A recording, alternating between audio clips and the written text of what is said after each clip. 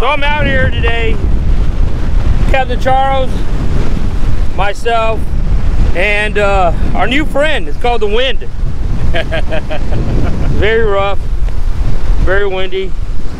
Don't even think y'all could hear me that well. Waves, pretty big waves. And at the end, well, the Mother Nature's down there. We're at the South Jetties. I don't know what we're gonna do. Freeport Jetties, rather. I don't know what we're gonna do yet. We just got here. And uh, yeah, pretty windy. I'm gonna walk down there, show you a little bit of what this wind is going on. You can see it is, is very, very, very bad.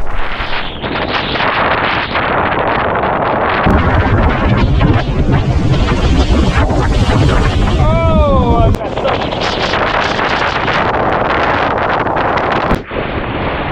All right, so I'm gonna see how close I can get. I'm already wet, but I don't want to get soaked because I got jeans on it. It's jeans are terrible to be wet. See here's a big wave. You fall in this current and this water, and you're in trouble. Very slippery. Oh, got it.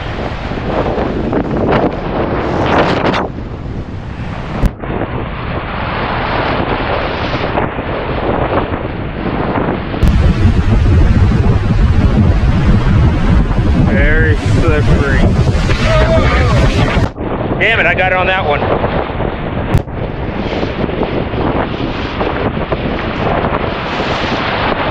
It's gonna get me.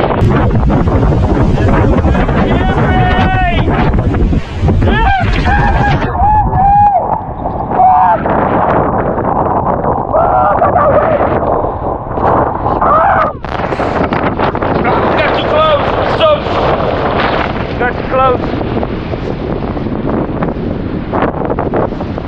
Ah.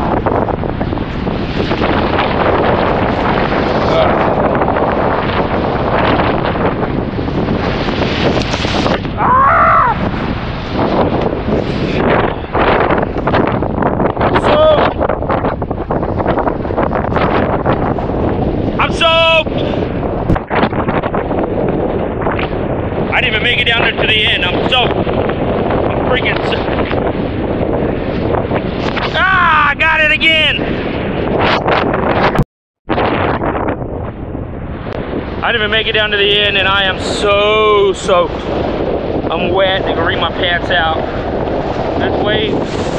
Ah, it's kicking my butt. Follow me all the way down. Yeah, it's terrible. Not even 7 o'clock in the morning and I'm soaked. All right, so this is gonna be interesting. I don't even know if I should even try to fish or what we're gonna do. We have this, we have bait, we have stuff. Just way down there, it's like super, super freaking waves are crashing over the end.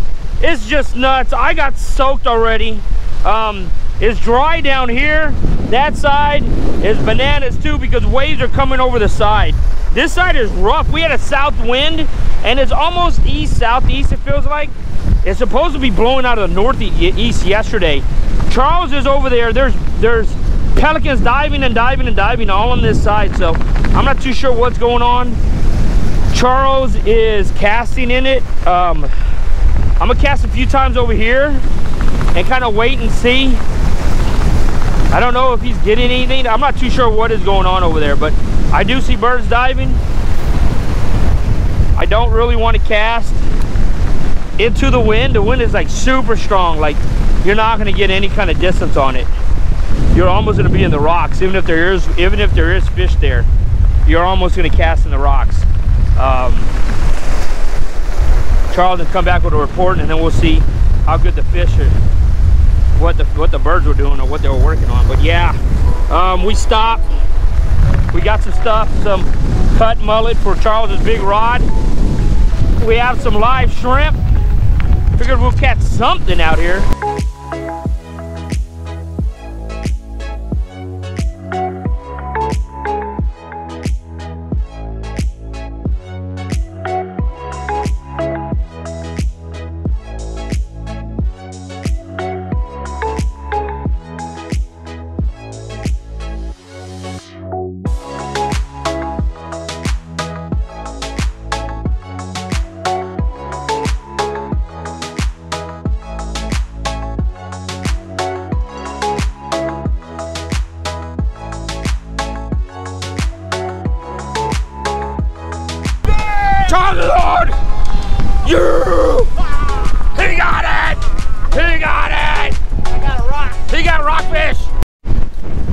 Right, so really nothing going on. I think we've been out here about like an hour and a half, close to two hours. I'm not even sure if y'all can hear me. Um, we're gonna hit another little spot right, right around the corner, not too far from here, and see if we can get onto some fish. I do have a Patreon that's on his way, so I tried to warn him several times uh, what the conditions were, but we're probably running to him or at least give him our coordinates so he can meet up. But we're gonna we're gonna take the skunk the walk of shame. well, I air dried, so that's good.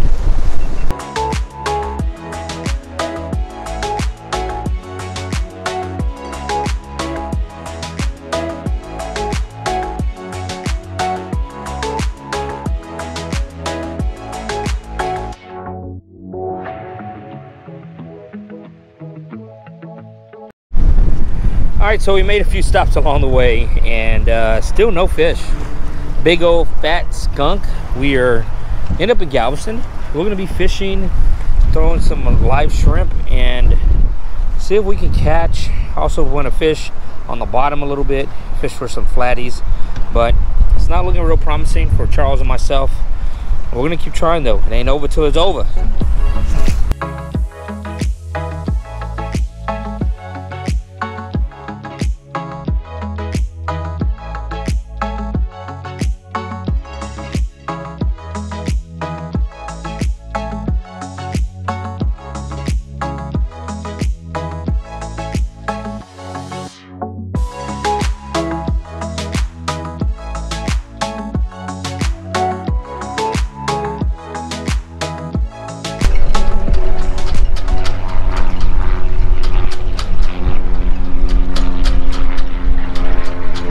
Go.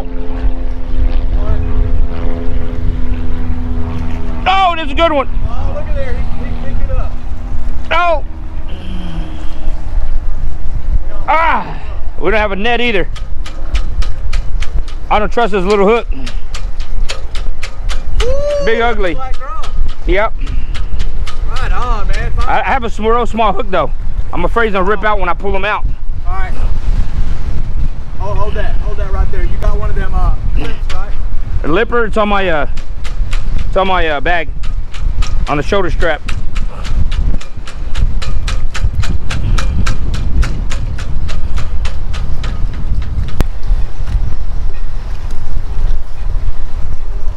Bring them up right now.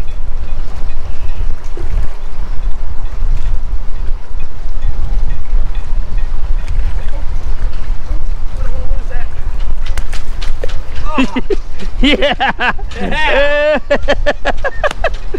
Dang, baby boy. Right on, man. What is up with his belly button? He done strained the poop out of it. Yeah, baby. Finally. Somebody caught something. Look at that beauty. Does he need a black drum? I don't know.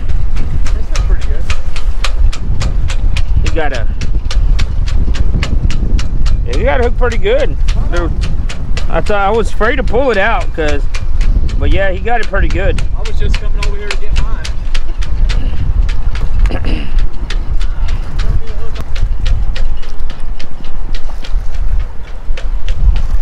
22 inch. 22 inch black drum. All day trying to work for it. Working hard for my money. Well, you know, that was it. You know, you can never predict what Mother Nature is going to do.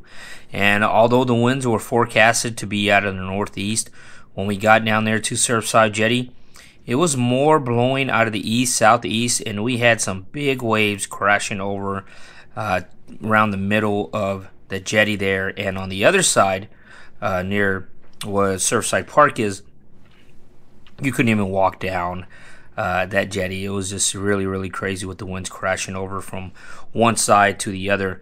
Um, you know, we had to throw a quick option plan B because the water was super dirty. It was extremely dirty on the beach side, and we had a lot of waves coming coming in. And as soon as you would throw your line out, the waves were pushing you against and towards the rock. So, you know, we had to do a quick audible. We went and hit a couple other places around there. So one spot that we hit was a little park not too far from the jetty. And when we walked up, we saw this gar. Looked like someone caught it and it, was just you know on the bank. You know, a lot of times you see that people will just catch fish and discard them right there. It was pretty dried out, just a little guy, probably about maybe about 15 inches or so. Um, and he was pretty dried out, and I thought he was dead. And I reached down to touch him, and he started moving. And um, to my surprise, so what it looked like was that he was kind of washed up. We had real strong south winds overnight, um, or the previous day, so it looked like he washed up on the bank. So after spending several minutes with him, I was able to revise him and revive him, and he lived. So that's pretty cool. You know, if we wouldn't have stopped there, that little guy would have definitely died, which is very surprising because he probably spent a good number of hours uh, on the bank there. I know they do breathe air, but good thing that uh, a predator or a bird didn't get a hold of him. But we would we fished there on the banks for a little while, and we saw him come up several times. So that was awesome to see. And then had to throw a quick audible. Ended up running to some private docks in Galveston and able to catch a 22 inch black drum. So that was it. That was a wrap. That and a few other little pinfish is all that we caught for the day. But you know what? That's why it's called fishing. I enjoyed the day. I had a great time out there with Captain Charles. His information is in the description section. If you are looking for a guided trip, whether boat, kayak, wade fish, this guy is the guy for you. Also, don't forget, I do have a Patreon. My Patreons found out about this trip the day it happened. I gave a quick fishing report. I believe the next morning I gave a fishing report. So if that's the kind of stuff you're into, if you want fishing reports and extra footage and clips of or even if you are new to fishing or new to some of the areas that we are fishing, or you just need a refreshing course.